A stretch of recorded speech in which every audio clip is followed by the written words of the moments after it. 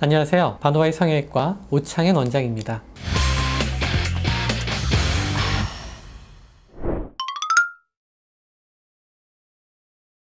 양악술도 다른 모든 수술과 마찬가지로 몸의 컨디션을 잘 유지하는 게 중요합니다. 수술 회복에도 영향을 미칠 수 있기 때문에 건강한 몸 상태를 잘 유지하시면 될 것 같습니다. 만약 양악 수술 전 주의사항들을 지키지 않았을 경우에는 수술이 아예 불가능한가요? 그런 경우도 있죠. 예를 들면은 감기 같은 경우도 가볍게 생각하실 수 있는데 마취하는 과정 중에서 인후부, 목이나 목천장 쪽에 있는 세균이나 바이러스가 마취하는 과정에서 오히려 더 깊은 폐 안쪽으로 이동할 수 있기 때문에 감기나 열이 있는 상황에서는 수술은 당연히 연기하는 게 맞고요. 또 몸이 많이 피곤해진 상황에서는 수술 후에 고생하실 수가 있기 때문에 적당히 컨디션을 회복하신 다음에 수술하는 게 좋겠죠. 화장하고 오셔도 어차피 다 지워야 되거든요. 그러니까 얼굴 다 소독을 해야 되기 때문에 화장은 안 하시는 게 원칙이고요. 세안하신 다음에 피부가 건조해지지 않게끔 너무 끈끈하지 않은 수분 크림 정도를 가볍게 바르시고 오는 게 제일 좋습니다.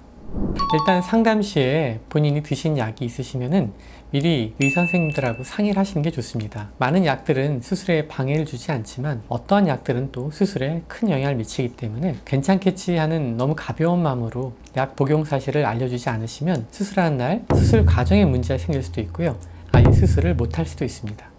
과거에는 생리 기간을 조절하는 약을 쓰기도 했거든요. 근데 지금은 수술이 발전하고 수술 중 출혈량이 사실은 크지 않기 때문에 생리는 수술에 크게 방해되진 않습니다. 다만 수술 후에 본인이 좀 거동이 불편하신 상태에서 스스로 느끼는 불편 때문에 생리 기간을 피해서 수술을 원하시는 분들도 있습니다. 금식을 하는 이유는 딱 한 가지입니다. 위에 음식물이 남아있지 않도록 만드는 게 목적이죠. 쉽게 말하면 마취를 하거나 수술 과정에서 윗속에 남아있는 음식물이 역류를 해서 기도로 들어가는 일을 피하기 위해서 음식물이 위에 남아있지 않도록 하는 겁니다. 만약 전날 액체류밖에 안 드셨다? 그럼 6시간도 충분하죠. 하지만 고체 형태의 식사를 드셨다고 할 때는 8시간 금식이 원칙입니다.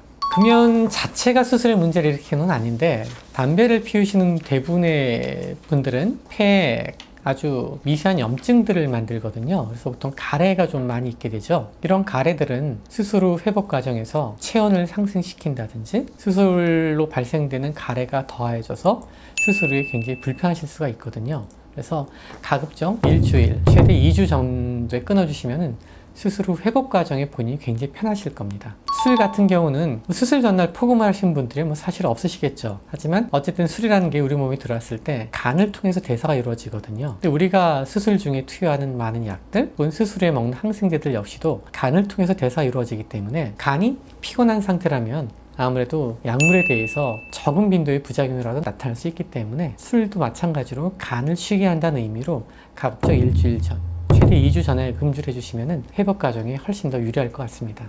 이 외에도 혹시 양악 수술 전에 하지 말아야 될 것들이 있을까요?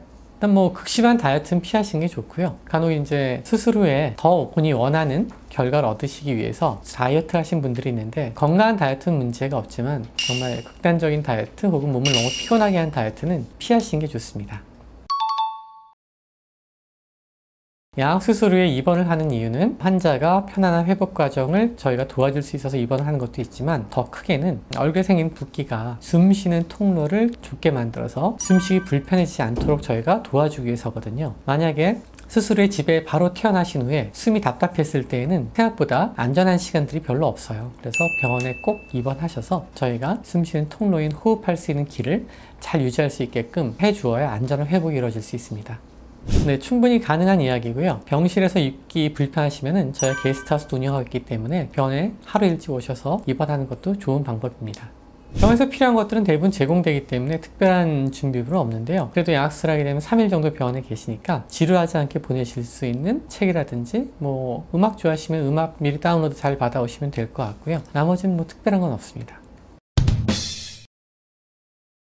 양악 수술은 아무나 그냥 예뻐지게 사는 수술은 분명히 아니니까 양악수술이 무슨 네, 소원을 이루어주는 수술은 아니라고 생각하시면 좋을 것 같고요. 또 양악술에 대해서 또 너무나 불필요한 공포감 그럴 필요까지는 아닌 것 같습니다. 의료진과 충분히 상의하고 본인의 건강을 위해서 하는 수술이거든요. 양악술은 대부분 부정교와 턱관절의 이상 그런 부분의 문제점을 해결하기 위해서 발전한 수술이고 그런 문제를 해결하기 위해서 꼭 필요한 수술법이니까 어, 너무 과도하게 두려움을 가질 필요도 없습니다. 마찬가지 말씀드린 대로 너무 과도한 기대, 과도한 불안 둘 다 좋지 않습니다.